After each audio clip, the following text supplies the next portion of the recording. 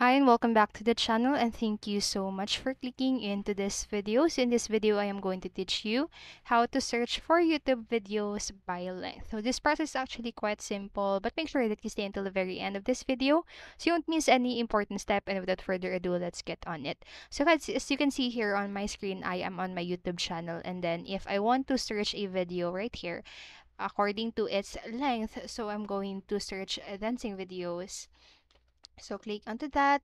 This is a random topic, uh, just don't mind it. So after having your result here on your YouTube, so you can actually, uh, actually there's a feature that you can filter out your results here on your YouTube. So you can have the duration here on the filter. So you can go ahead and click under 4 minutes or 4 to 20 minutes video or over 20 minutes video. So you can select onto the onto this. So I'm going to click under 4 minutes video and that will result or filter out the videos according to the length of the video that I've set in the filter feature. So that's it for this video and I hope this helped you and if it did, please make sure to like, subscribe, and hit notification bell button so you won't miss a video. Thank you so much for watching and have a great day.